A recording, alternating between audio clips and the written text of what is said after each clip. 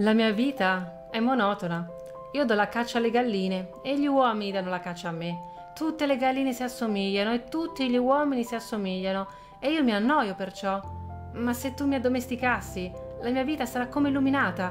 Conoscerò un rumore di passi che sarà diverso da tutti gli altri e gli altri passi mi faranno nascondere sottoterra e il tuo mi farà uscire dalla tana come una musica e poi, guarda, vedi laggiù in fondo dei campi di grano io non mangio il pane e il grano, per me è inutile. I campi di grano non mi ricordano nulla e questo è triste. Ma tu hai dei capelli color dell'oro. Allora sarà meraviglioso quando mi avrai addomesticato. Il grano che è dorato mi farà pensare a te e amerò il rumore del vento nel grano.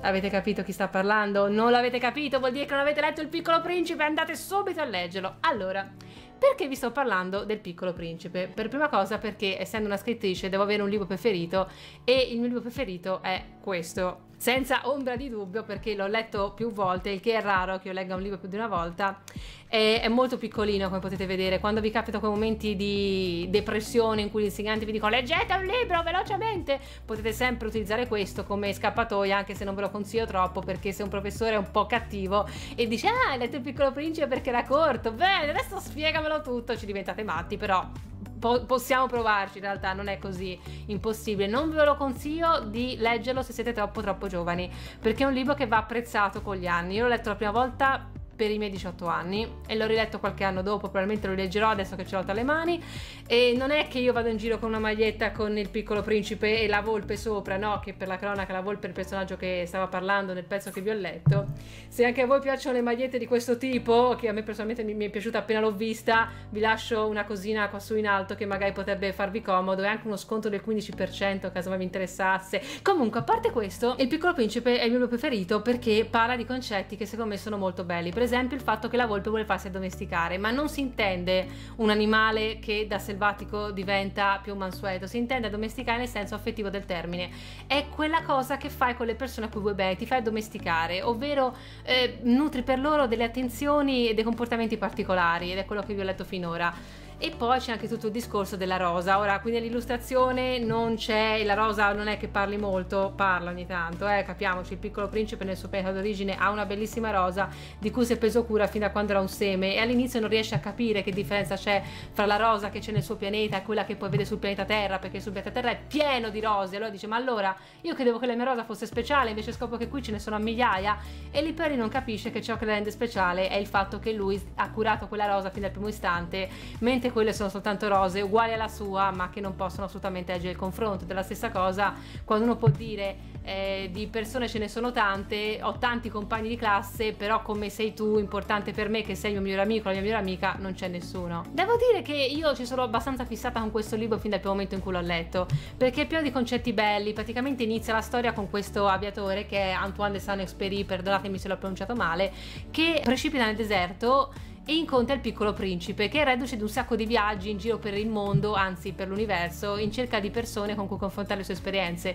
E la Terra è solo uno dei tanti pianeti che il piccolo principe ha visitato e ogni personaggio che il piccolo principe incontra rappresenta qualcosa, un vizio o un'abitudine che una persona può prendere durante la sua vita. E veramente, ragazzi, leggete, datemi retta. Non è che io oltre alle magliette mi compro anche le agende a tema, no, non è che la mia agenda è a tema piccolo principe con tutti i disegnini fatti apposta, assolutamente no. In realtà ora che ci penso, anche la versione mini che è di mia mamma, ve la, ve la faccio vedere subito. Guardate che cosa microscopica che è questo oggetto, guardatelo rispetto alla mia mano, quanto è piccino, mi sta tutto sul palmo e c'è tutto il testo completo come nella versione originale grande, proprio è tutto completo, fino all'inizio alla fine, guardate, è anche abbastanza leggibile in realtà e ci sono anche le illustrazioni, quelle originali ovviamente molto rimpicciolite perché non è che potevano entrarci tutte esattamente come erano ed è uguale a quello vero. Io lo trovo una cosa stupenda, è una, è una miniatura deliziosa secondo me. La domanda che forse vi state facendo è per quale motivo ci sta raccontando il piccolo principe?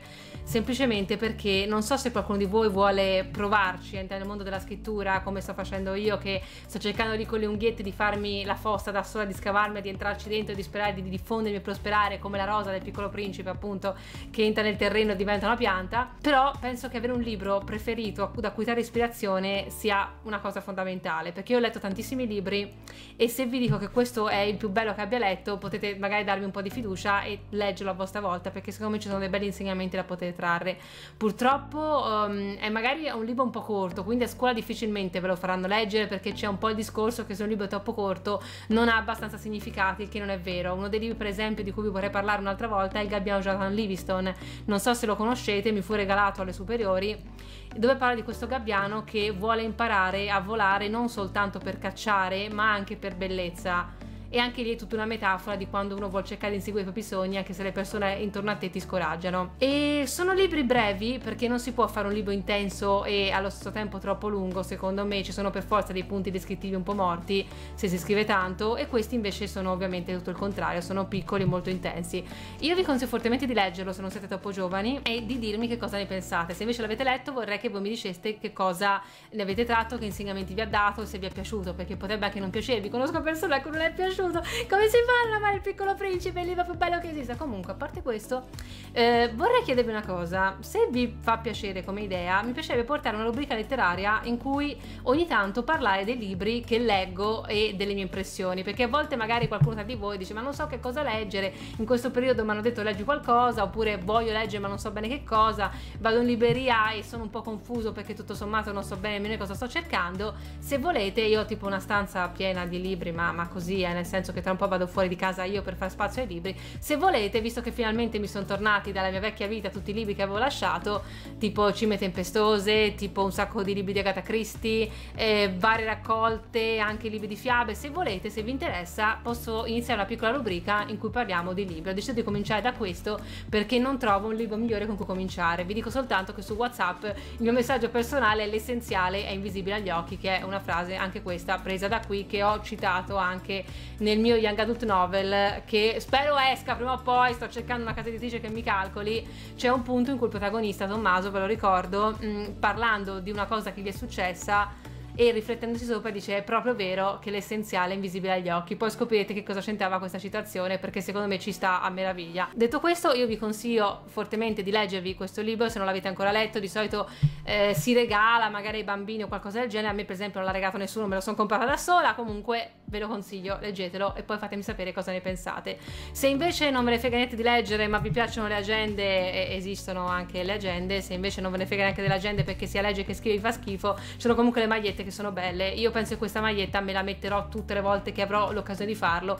Anche se ormai se chiamassimo gente come Carla Gozzi, Enzo Miccio mi insulterebbe. Ah mio Dio, alla tua età metti questa maglietta da nerd. Sì, sì, le metto e le metterò sempre, capito?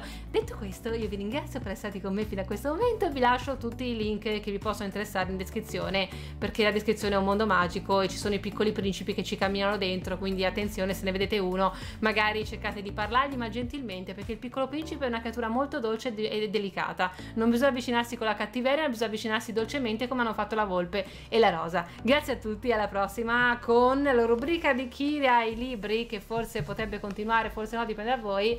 E Tana Love, ciao! E mi raccomando, attenzione alle rose perché parlano e, e poi dicono un sacco di cose. Ciao!